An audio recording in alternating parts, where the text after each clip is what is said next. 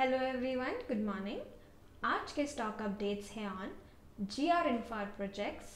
Paytm Bajaj finance बात करते हैं जी आर इन्फर की।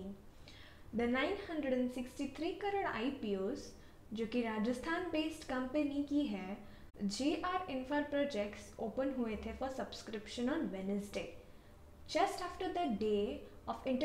road E P C player raise of rupees 283.30 crores